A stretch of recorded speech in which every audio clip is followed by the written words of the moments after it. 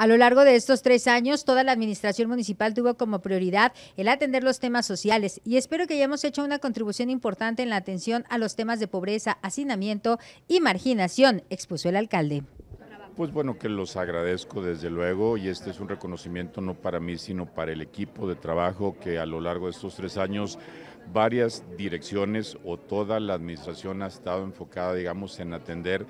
también este tipo de, temas en donde no ha sido una sola dirección, sino varias o todas, dependiendo de cada una de sus, de sus capacidades y de su vocación, pero que en, en ese sentido, bueno, pues espero que hayamos hecho una contribución importante a, este tema social que es tan necesario atender temas de marginación, de pobreza, de hacinamiento. Estuvimos en el MUI también hace algunos días, ustedes nos hicieron favor también de acompañarnos. En sí ha sido pues una política integral